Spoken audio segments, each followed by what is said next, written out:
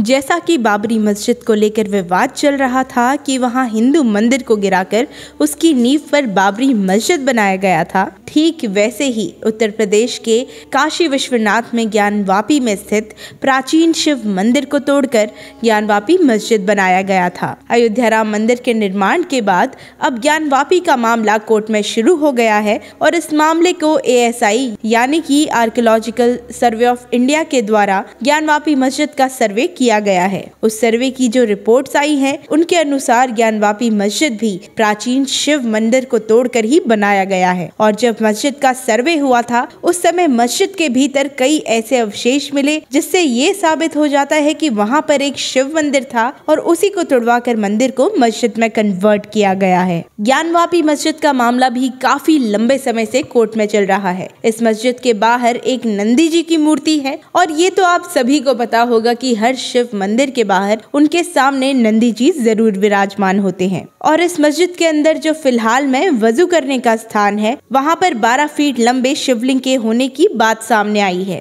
अगर आपको वज़ू करने का मतलब नहीं मालूम तो आपको बता दें, जैसे कि हमारे मंदिरों में पानी से हाथ मुँह धोकर ही हम पूजा पाठ करते हैं। ठीक उसी तरीके से मस्जिद में भी हाथ मुँह और कुल्ला किया जाता है नमाज़ पढ़ने से पहले। तो बस उसी स्थान पर शिवलिंग के अवशेष मिले हैं। इसी पर एएसआई ने जाँच करके एक रिपोर्ट तैयार की और इस रिपोर्ट को दोनों ही पक्ष, यानी कि हिंदू और मुस्लिम पक्ष को सौंप दिया गया। इस रिपोर्ट में पूरे सबूत मौजूद हैं जो बताते हैं कि यहाँ पर एक मंदिर हुआ करता था। दरअसल ज्ञान मस्जिद भारत में उत्तर प्रदेश राज्य के बनारस में स्थित है और इसका निर्माण एक पुराने शिव मंदिर की जगह पर किया गया है। पर ये हुआ कैसे? आइए बताते हैं। औरंगज़ेब ने सोलह में यहाँ का प्राचीन शिव मंदिर ध्वस्त कर दिया था। इस स्थान में मूल रूप से एक विश्वेश्वर मंदिर था, जो कि महादेव को समर्पित था। इस मंदिर को टोडरमल ने नारायण भट्ट के साथ स्थापित किया था। वो बनारस के सबसे प्रसिद्ध ब्राह्मण परिवार के मुखिया थे। सत्रहवीं शताब्दी की शुरुआत में जहांगीर के एक करीबी सहयोगी वीर सिंह देव बुंदेला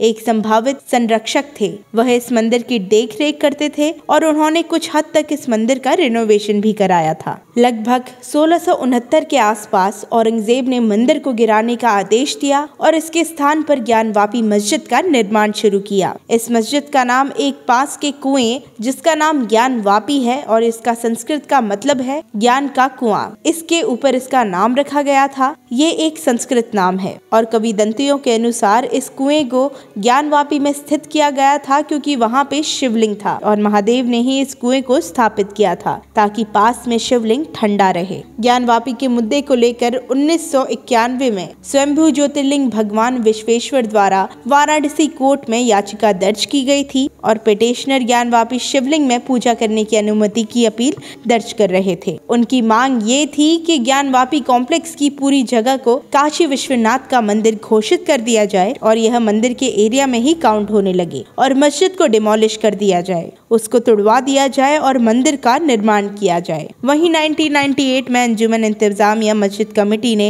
एक केस फ़ाइल किया, जिसमें उन्होंने हाईकोर्ट में जाकर दावा किया कि ये पूरी बात गलत है और फिर हाईकोर्ट ने लोअर कोर्ट के ऊपर स्टेट लगा दिया और वह केस वहीं थम गया और 22 साल तक ये केस बंद रहा। और फिर 2019 में ये केस वापस खोला गया और एएसआई ने सर्वे किया जिसकी रिपोर्ट दिसंबर में आ चुकी थी। और यह साबित हो चुका था कि वहाँ पर एक मंदिर था और ऐसे करीबन छत्तीस सबूत इस ज्ञानवापी मस्जिद में पाए गए हैं, जो कि ये बताते हैं कि इस मस्जिद में पहले एक मंदिर हुआ करता था और इस मंदिर में साक्षात महादेव का आगमन था। फ़िलहाल तो एएसआई की सर्वे रिपोर्ट को दोनों ही पक्षों में बांट दिया गया है। हिंदू और मुस्लिम दोनों ही कमेटी के पास ये रिपोर्ट आ चुकी है और दोनों के ही पास ये पूरे सबूत हैं और सच्चाई क्या है उन दोनों को ही पता है। अब कोर्ट का आगे क्या फैसला होगा, ये तो समय ही बताएगा।